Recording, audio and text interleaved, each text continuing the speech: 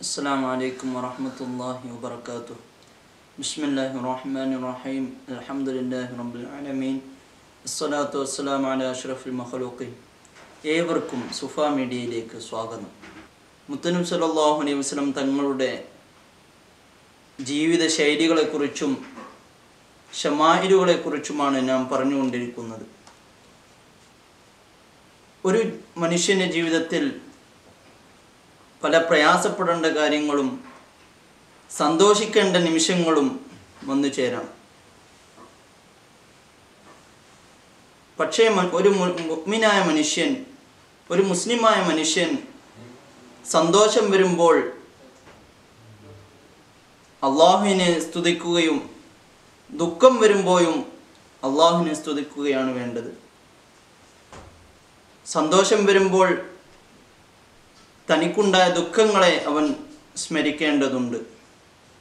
അതുപോലെ തന്നെ ദുഃഖങ്ങൾ വരുമ്പോഴും അവനിക്കൊരു സന്തോഷത്തിന്റെ കാലഘട്ടം ഉണ്ടായിരുന്നു എന്നുള്ളതിനെ ഒരിക്കലും അവൻ വിസ്മയിക്കാൻ പാടില്ല.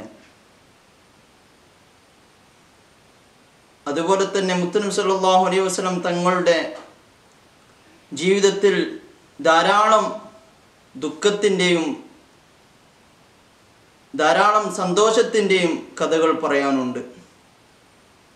റസൂലുള്ളാഹി സ്വല്ലല്ലാഹു അലൈഹി വസല്ലം തങ്ങളുടെ ദഹനത്തെ സംബന്ധിച്ചാണ് നാം ഇന്ന് ചർച്ച ചെയ്യുന്നത്.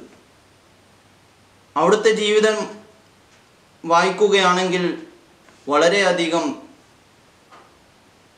സഹനത്തിന്റെയും ക്ഷമയുടെയും കഥ പറയുന്നത് കാണാം. നമുക്കറിയാം റസൂലുള്ളാഹി സ്വല്ലല്ലാഹു അലൈഹി വസല്ലം തങ്ങൾ ത്വായിഫിന്റെ മണലാരണ്യത്തിലേക്ക് കടന്നു വന്നപ്പോൾ അവിടുത്തെ ചെറിയ കുട്ടികളും മാനസിക രോഗികളും മറ്റുള്ള ആളുകളും അവിടുന്ന് കൂക്കി വിളിച്ചത് കല്ലെറിഞ്ഞത് വേദനിപ്പിച്ചത്. ജിബിലി അലൈഹിസ്സലാം വന്നുകൊണ്ട് ഈ സമുദായത്തെ അപ്പാടെ ഉൾട്ടിയാക്കി കളയാൻ മറിച്ചിടാൻ വേണ്ടി റഹ്മത്തുല്ലാലമീനായ റസൂലുള്ളാഹി സ്വല്ലല്ലാഹു അലൈഹി വസല്ലം തങ്ങളോട് ചോദിച്ചപ്പോൾ അവിടുന്ന് വേണ്ട എന്നാണ് പറഞ്ഞത് അത്രത്തോളം സഹനത്തിന്റെയും ക്ഷമയുടെയും മാതൃക നമുക്ക് അലൈഹി വസല്ലം തങ്ങൾ കാണിച്ചു തന്നിട്ടുണ്ട്. അലൈഹി വസല്ലം തങ്ങളുടെ പ്രബോധന കാലഘട്ടം നമ്മൾ പരിശോധിച്ചു നോക്കുകയാണെങ്കിൽ ധാരാളം സഹനത്തിന്റെ കഥ നമുക്ക് അറിയാനാകും. ഹന്തക്ക് യുദ്ധവേളയിൽ കിടങ്ങ് കൊഴിച്ചുകൊണ്ടിരിക്കെ ഒരു മാസം എടുത്തു എന്നാണ് ചരിത്രം പറയുന്നത് കിടങ്ങ് കൊയ്ക്കാൻ ആ സമയത്ത് വിശന്ന് വലഞ്ഞ് ഒരാളോട് പോലും സങ്കടം പറയാതെ ഒരാളോട് പോലും തന്റെ വിഷമം പറയാതെ വയറ്റിന് മറ്റുള്ള സ്വഹാബത്തുൽ കിറാം ഒരു കല്ല് വെച്ച് കെട്ടിയിരുന്നെങ്കിൽ മുത്തനബി സല്ലല്ലാഹു അലൈഹി വസല്ലം തങ്ങൾ രണ്ട് കല്ല് കെട്ടിവെച്ച് അവിടുന്ന് നമുക്ക് സഹനത്തിന്റെ മാതൃക കാണിച്ചു തന്നിട്ടുണ്ട്. ഒരു കൊറോണ വരുമ്പോഴേക്കും അല്ലെങ്കിൽ മറ്റുള്ള ഒരു പ്രയാസം വരുമ്പോഴേക്കും തളരുന്ന നാം അനുകരിക്കേണ്ടത് നമ്മുടെ നേതാവായ നമുക്ക് വഴി കാണിച്ചു തന്നിട്ടുള്ള മുത്തനബി സല്ലല്ലാഹു അലൈഹി വസല്ലം തങ്ങളെയാണ്. അതുപോലെ തന്നെ കുറേശ്ശി ശത്രുക്കൾ സ്വഹാബത്തുൽ കിറാമിനെ ബുദ്ധിമുട്ടിക്കുകയും പീഡിപ്പിക്കുകയും വല്ലാതെ പ്രയാസപ്പെടുത്തുകയും ചെയ്തപ്പോഴൊന്നും അവിടുന്ന് ഹിജറക്ക് കൽപ്പിച്ചിട്ടില്ല. അവസാന നിമിഷം സഹിക്കാൻ പറ്റാത്ത അവസ്ഥ വന്നപ്പോൾ മാത്രമാണ് അവിടുന്ന് ഹിജറക്ക് കൽപ്പിച്ചിട്ടുള്ളത്. ആയിഷാ ബീവിയോട് ഒരിക്കൽ ചോദിച്ചു മുത്തനബി അലൈഹി തങ്ങളുടെ സ്വഭാവം എങ്ങനെയായിരുന്നു? അവിടുന്ന് പറഞ്ഞു ഖുർആനായിരുന്നു.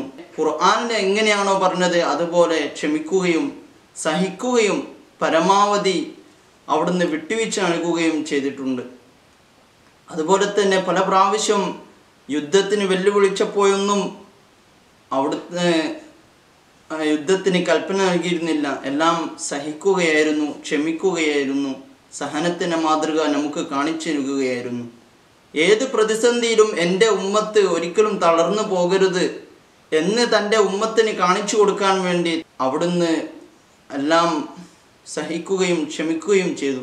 അതുപോലെ തന്നെ പ്രബോധന കാലഘട്ടത്തിന്റെ തുടക്കത്തിൽ മുത്തനും അലൈഹി വസല്ലം തങ്ങളുടെ മുത്തനും അലൈഹി വസല്ലം തങ്ങളുടെ കുടുംബത്തെ ഒന്നാകെ മക്ക മുഷരിക്കീങ്ങൾ മക്ക കുറൈശിനെ മക്ക മുഷരിക്കീങ്ങൾ ഖുറൈശി സമുദായത്തെ ഒന്നടങ്കം ബഹിഷ്കരിച്ചപ്പോൾ ഷേബു അബി താലിബ് എന്ന ആയവരത്ത് മൂന്ന് വർഷക്കാലം പച്ചില മാത്രം ഭക്ഷിച്ചുകൊണ്ട് സഹനത്തിന്റെയും ക്ഷമയുടെയും മാതൃക നമുക്ക് റസൂലുള്ളാഹി സ്വല്ലല്ലാഹു അലൈഹി വസല്ലം തങ്ങൾ കാണിച്ചു തന്നിട്ടുണ്ട്.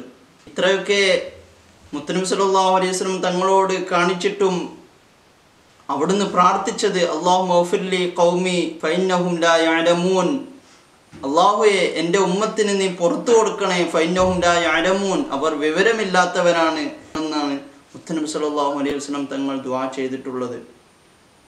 അപ്പോൾ ഇതെല്ലാം നാം മനസ്സിലാക്കിക്കൊണ്ട് ഏത് പ്രതിസന്ധിയിലും ഏത് കൊറോണ വന്നാലും ഏത് ബുദ്ധിമുട്ട് വന്നാലും സഹിക്കാനുള്ള ക്ഷമിക്കാനുള്ള സഹനത്തിന്റെ നമുക്ക് നമ്മുടെ നേതാവ് സയ്യിദുൽ വുജൂദ് ത്വാഹ റസൂലുള്ളാഹി സ്വല്ലല്ലാഹു അലൈഹി വസല്ലം തങ്ങൾ കാണിച്ചു തന്നിട്ടുള്ള മാതൃക പിൻപറ്റണമെന്ന് ഷമാൽ ടോക്കിലൂടെ നിങ്ങളെ അറിയിക്കുന്നു. അസ്സാം അലൈക്കും.